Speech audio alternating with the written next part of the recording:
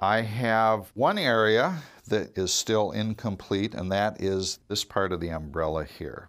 I'd like to lift that for you.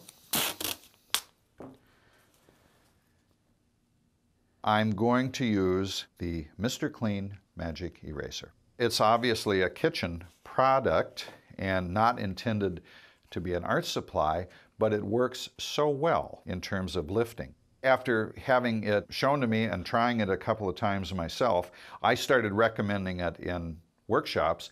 And then I started hearing stories from people who had gone online and had all kinds of warnings attached to the product that there were chemicals that could possibly damage your paper, that could possibly have an adverse effect on you. So I checked with Procter and Gamble and have been assured from the corporate level that this product has absolutely nothing added to it.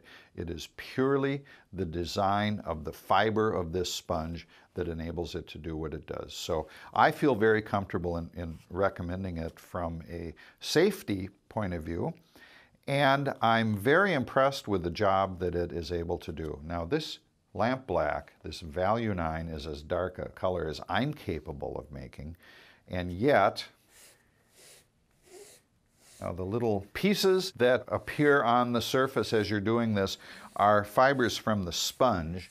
If I were to keep going, I could get this all the way back to white, but I don't want to do that. What I really want to do is pull a little of the existing pigment down. What I'm going to do now is see if I can strengthen something that will imply the surface of the street. I have these lines here already, so I think I will just, I will pick this one and see if I can beef it up just a little bit.